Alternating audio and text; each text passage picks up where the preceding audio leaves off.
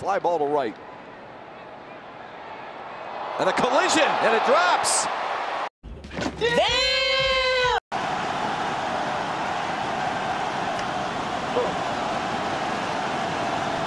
You see Beaty really, uh, this is a pretty tough collision right there. Taylor collide right here. You never want to see this.